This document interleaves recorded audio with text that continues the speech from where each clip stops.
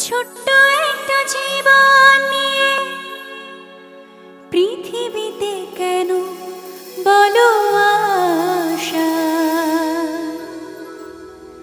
অনন্তকাল ভালোবেসে ফুরাবে